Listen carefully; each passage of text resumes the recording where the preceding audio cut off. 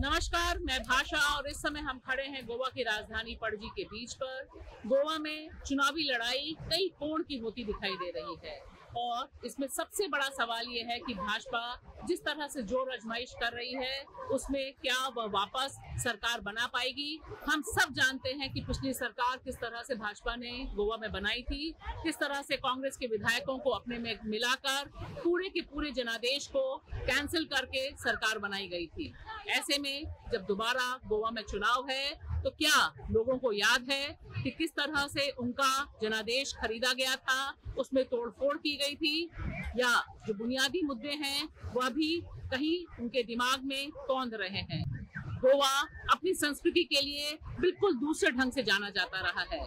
लेकिन पिछले पाँच सालों में, या यूँ कहिए कि पिछले दस सालों में, इसे हिंदुत्व की, हिंदू, मुसलमान, ईसाई ध्रुवीकरण की दूसरी राजनीति में भाजपा ने ढकेला है और बड़े पैमाने पर पूरब से जो लोग आए हैं, उत्तर भारत से जो लोग आए हैं, जो यहाँ पर मतदाता भी हैं, लंबे समय से काम कर रहे हैं, उन्हें अपने एक कंक्रीट वोट बैंक में कन्वर्ट किया है। सवाल यह है कि गोवा किधर जाएगा a lot. I heard uh, that there's anti-incumbency and uh, and there is a lot of buzz about BJP. There's a lot of buzz about uh, MLA switching this fight time. Fight fight किसके बीच में है Uh, apparently, it's between BJP and Congress, I believe. But I hear I hear that it's been it's between BJP and Congress. BJP, That's what, yeah. BJP is. Uh. लोग काफ़ी नाराज़ हैं BJP से but I think the Hindutva factor is working in uh, favor of BJP. That's what यहाँ पर भी? I think so. But यहाँ majority तो क्रिश्चियंस और No, no, majority is 60% are Hindus, uh, 60, 63%. That's what I hear. I'm sure you know. The majority is not Christians. Uh, they think uh, Goa is a Catholic uh, thing, uh, uh, stronghold. It's not. Actually, it's uh, mostly Hindus. And there's a lot of uh, talk about uh, South Goa is predominantly Hindu. Uh, Hindu. Hindu on the Hindu card. Yeah, I believe so. Okay. But I personally know people who are actually ready to they get very aggressive when talking about it. We neutrally also speak about something. But I hope there's a change. Okay. I hope there's a change. Change. Yeah, we need a change. What's your name Sanjeev, Sanjeev. Thank you you're welcome, man. क्या नाम है आपका? अखिलेश अ, अखिलेश जी आप पहली बार vote डालने जा रहे हैं? हाँ जी मैं पह- पहली बार वोट डालने जा रहा हूँ। क्या लगता है दिमाग में क्या है? क्या होना चाहिए? तो मेरे हिसाब से भाजपा ही आना चाहिए क्योंकि बहुत वो लोग ने चेंजेस किया है। हम्म, तो हिंदुत्व कार्ड बहुत पावरफुल है उनका। हाँ वो है। उससे क्या फ़ायदा हुआ आपको? क्या बोलूँ अभी। अभी उन्होंने कहा कि मंदिर दोबारा बनने चाहिए। ईसाइयों पर भी थोड़े हमले हुए कन्वर्जन की बात है ये सब आपके दिल के मुद्दे हैं। हाँ ये तो है। मतलब वो भाजपा आया तो मतलब बहुत सारा चेंजेस हुआ है हमारे इंडिया में। हम्म, अभी भी हो रहेंगे तो हमारे डेवलपमेंट में। मतलब आगे जाते रहेगा डेवलपमेंट होते होते रहेगा। आप तो पढ़ते होंगे। हाँ जी मैम आपने देखा होगा कि इकॉनमी बिल्कुल बैठ गई। हाँ। लोगों को बेरोजगारी 45 इयर्स में हाईएस्ट है। हाँ। तो आप कह रहे हैं कि अच्छा हुआ देश में? कहाँ अच्छा हुआ देश में? नहीं जितना मुझे पता है उतना मतलब जितना देख रहा हूँ उतना अच्छा लग रहा है बट हम्म, आगे का उतना नहीं पता मुझे। आपको क्या लगता है? एम्प्लॉयमेंट कोई मुद्दा है सेकंड वाले का काम उतना नहीं है कोरोना का टाइम कम जॉबलेस है तो लोग तो आप होप करेंगे अभी आएँगे वो काम लगाएँगे हम। काम लगाएँगे। क्या चेंज होगा? भाजपा जाएगी कोई नई पार्टी आएगी आपको लगता है? हो सकता है लेकिन अभी कह नहीं सकते। अब तो बहुत ही कम दिन रह गए सर। किसका प्रचार किसका हवा ज़्यादा है? भाजपा का। भाजपा का आवाज़ ज़्यादा है। भाजपा का। भाजपा का। काफ़ी अच्छा है और भाजपा ने काफ़ी अच्छे काम भी किए हैं। काफ़ी अच्छे भी हैं। तो शायद इस बार उन्हीं का सपोर्ट ज़्यादा है। पिछले पाँच साल से भाजपा ही है भाजपा ही है यहाँ पे। काफ़ी अच्छा काम काफ़ी अच्छा भी काम भी किया है। काफ़ी अच्छे बदलाव रोड्स काफ़ी अच्छे कर दिए हैं ब्रिजेस बन गए हैं रोड ब्रिजेस से तो ठेकेदार को फ़ायदा होता है। आम सिटीजन को क्या फ़ायदा? है हमें फ़ायदा मैम कि पहले गड्ढे बिड्ढे रोड पे दिखते थे अभी अच्छे रोड बन गए हैं काफ़ी ब्रिजेस बन गए हैं बाद में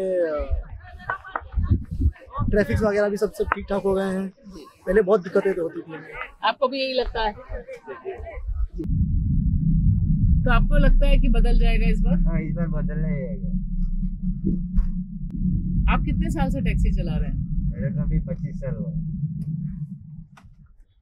सबसे ज़्यादा गुस्सा लेकिन क्यों है लोगों में? तो गरीब को बहुत सताया है लोग। वहाँ कोरोना टाइम कुछ नहीं दिया है। राशन तो फ्री बांटा होगा। किधर भेजा ये सब लोग बीजेपी लोग खाया सब गरीब को किधर पहुँचा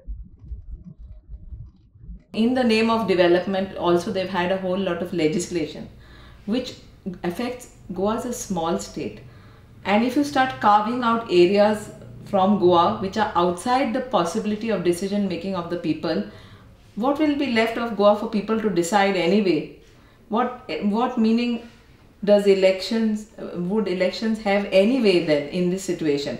As it is there is a problem because we do not have uh, like you know it's a first past the post system but besides that the whole thing is that if if like you know people will not have a say in decision making in those places then why sh- why should they want to vote for somebody? Because anyway even after they vote those people they will not have a say in uh, decision making.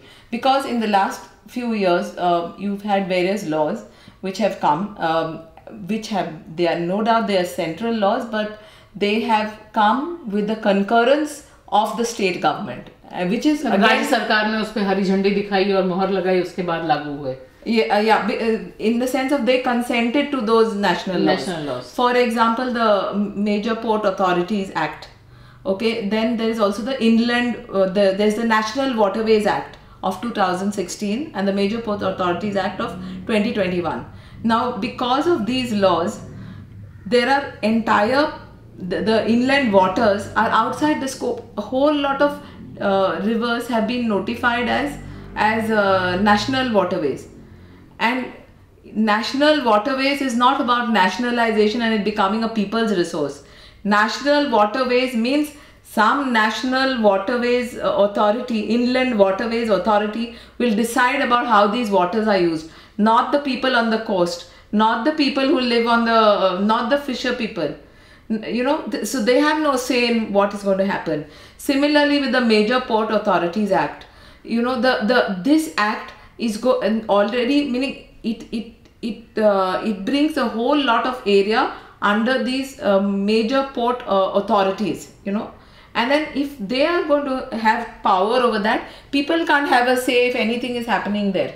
So that may in turn have a uh, have an effect let's say on the coastal areas it may have an effect on the के पूरे जो yeah. Goa has a uh, बहुत खूबसूरत और uh, बहुत बड़ा it, has a it has a within its within its small area that coastline is large so which means a substantial portion of the of the population will have no say in their in the areas in which they're residing दूसरा एक जो बहुत बड़ा agenda Bhajpa का है जो यहाँ पर भी लोग बात कर रहे हैं वो है कि फाइनली तो हिंदुत्व है yes. और इसके लिए काफ़ी लोग उनको सब कुछ के बावजूद महँगाई है ये है लेकिन ठीक है बीजेपी ही आएगी क्या आपको लगता है कि ऐसा आपके जो सर्कल है आप जिन लोगों से मिलती हैं वहाँ पर भी so, हिंदुत्व बढ़ा है पिछले पाँच सालों में ये जो feeling of Hindutva of course is no doubt about that But the the only thing is, I don't know whether people vote on on the basis of these issues. That's the, that's the thing because you know uh, the immediate concerns are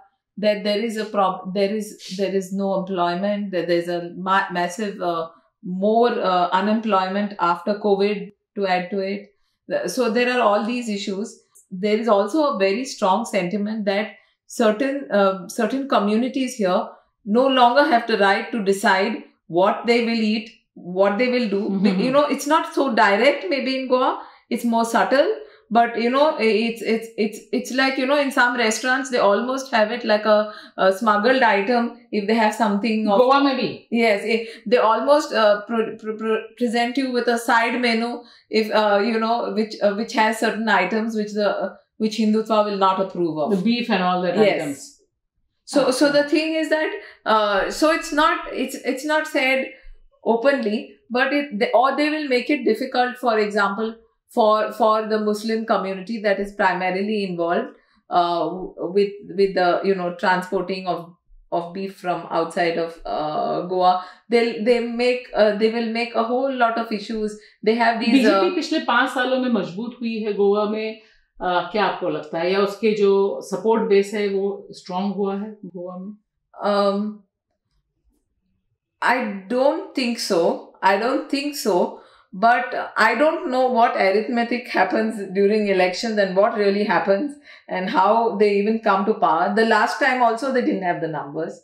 But- उन्होंने खरीद लिया उधर से Yeah. So कांग्रेसी candidate yeah first they took a few but it they, or they will make it difficult for example for for the muslim community that is primarily involved uh, with with the you know transporting of of beef from outside of uh, goa they'll they make uh, they will make a whole lot of issues they have these BJP uh, पिछले पाँच सालों में मज़बूत हुई है गोवा में आ, क्या आपको लगता है या उसके जो सपोर्ट बेस है वो स्ट्रांग हुआ है I think, uh, like with with those who are opposed to Hindutva politics, they're very clear that they're not going to vote for anybody who is identifying with the BJP. जब हम you know door to door कर रहे हैं मिल रहे हैं सबसे तो यही वो बोल रहे हैं कि हमारे जो बेसिक नेसेसिटीज़ है, वो नहीं मिल रहे हैं।